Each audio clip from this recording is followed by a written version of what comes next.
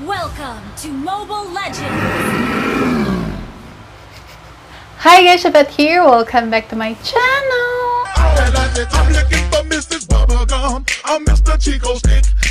So for today's video mga besh, gaya ng narinig nyo sa intro ko, this video is related to Mobile Legends. So if you are dating a Mobile Legend gamer and you have some questions about it, just keep on watching. So yun nga mga besh, di naman natin maikakaila na once na nakikipag-date ka sa isang Mobile Legend gamer, eh may mga questions ka na hindi mo kayang itanong sa kanya. So ako nang sasagot para sa inyo. Char. So disclaimer lang mga besh, ito ay sarili kong opinion, pwedeng ito yung sagot ko, pwedeng iba sa kanila. Question number one, may mga nakakalaro ba siya kahit sinabi niyang solo gaming lang siya? The answer is yes, Beshiwap. So, ang Mobile Legends is intended for 5 versus 5. So, pag sinabi kong 5 versus 5, kahit sinabi niya sa'yo na solo gaming lang niya, mag-isa niyang maglalaro, makakasearch siya ng apat na kakampi and limang kalaban. So, all in all, 10 silang maglalaro. Kahit sinabi niya sa'yo na mag, kahit nagpaalam siya sa'yo na mag-isa lang niyang maglalaro meron at meron siyang makakasama. Kahit sa rank, kahit classic, kahit brawl pa yan, Beshiwap, sampu silang maglalaro. Maliban na lang kung nagpa-practice siya ng hero niya dahil computer ang magiging kalaro niya lang, kalaban niya. So, madalang naman yung gawin eh. Maliban na lang kung kabibili niya talaga yung hero niya. Pero, question number two. Pwede ba ba niyang makalaro yung mga na-search niyang kalaro niya before? The answer is yes, Beshiwap. So, for example, naglaro sila, di ba? Sa- Sampu silang naglaro. And it turns out na magaling yung naging kakampi niya or nakalaban niya.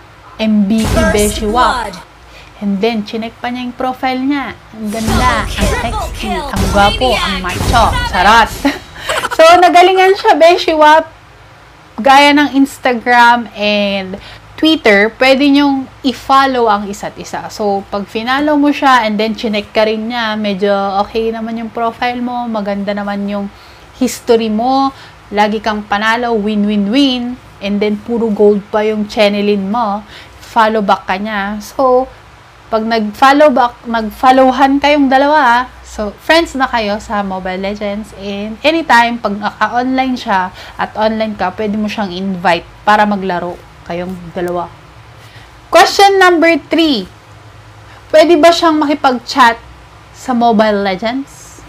The answer again is yes, Beshiwap. So, meron dong icon na kung saan i-click mo and then pwede kang mag-send ng message sa kanya. So, ewan ko lang sa iba, parang lumipat na sila sa Mobile Legends, binura na nila yung mga dating app nila, and doon na lang sila nakikipag Char! Joke lang. Don't get me wrong. Pero, kasi doon minsan, Beshiwap, uh, pwede kasing mag-chat doon na, or an, game na ba? Ganito, ganito, wait mo ako, ganun, naghihintayan kayong dalawa, or silang mga magkakasquad kung may squad man siya. O, yun, mag-chat kayo na maghintayan na lang muna, hintayin mo ko para may makasama silang ganyan, di ba? Sana all naghihintay, di ba? Char. So, in short, oo, pwede silang makipag-chat doon sa Mobile Legends. Question number 4. Bakit late ang reply niya kapag naglalaro siya? Para sa mga hindi naglalaro ng Mobile Legends, Beshiwap, ang isang laro, ang pinakamaiksing laro, Beshi, na na-try ko is 3 minutes ata. Yun eh kung hindi naka, pa, nakapasok or na-disconnect yung isang kalaro nyo, pwede kayong mag-concede ng defeat. So, yun yung pinakamaiksing laro. Pero, usually ng laro Beshiwap, nagre-range yan between 10 to 20 minutes. So, yun yung pinaka-timeline nung isa, ng isang laro. Magandang laro. Pero, Beshiwap, ang last nun, high energy. Pero, Beshiwap, once na magaling yung kalaro mo, magaling din yung kakampi mo at walang gustong magpatalo, pinakamatagal ko ng laro yata is 36 or 38 minutes, Beshuap. So, isipin mo na lang kapag ka-chat mo siya. bigla siyang nawala ng 30 minutes. Baka naman naglalaro siya and intense yung laro nilang. So, ako kasi, Beshi, nakakapag-reply na naman ako sa mga importanteng taos. Yan, sa importanteng tao, 'di ba? Nakakapag-reply naman ako agad kasi magpa-pop out naman yung message mo, 'di ba, Beshi? Wap. Maliban na lang, Beshi, kapag medyo intense yung laro talaga. Kapag kailangan tutok na tutok sila kasi minsan ako, ako din, pagka intense na intense yung laro, kung gustong gusto mo na talagang manalo, hindi pwedeng malingat yung mata mo sa hero mo. So, kailangan nakatingin ka sa mapa, sa map, yung mini-map nila sa taas and at the same at the same time sa hero mo. Kasi may mga time na nalingat ka lang, bigla mamaya, wala na, dead zoom ka na. Question number 5. Nakakapang-init ba ng ulo ang Mobile Legends? The answer is yes. Check na check, Beshi Wap.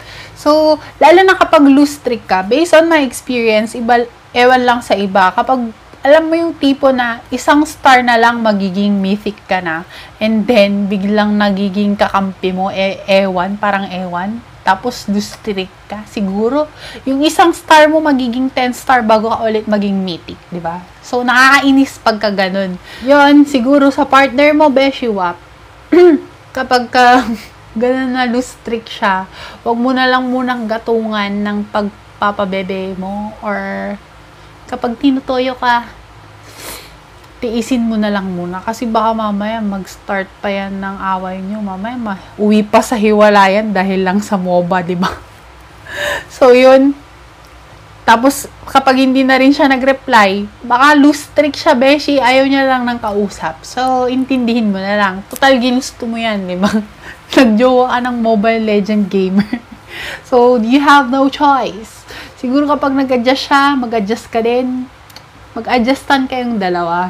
So, basta i-remind mo lang na pag medyo sumusobra na sila, 'di ba? I-remind mo lang na oh, medyo sumusobra ka na. Baka ganito ganyan, mapahamak ka, ganyan ganyan. Pakita mo pa rin concern ka, 'di ba? So that's it for today, mga mesh. I hope you like this video. If you want to have more videos like this, just leave it down the comment box. Of course, don't forget to click like, share, and subscribe. Bye!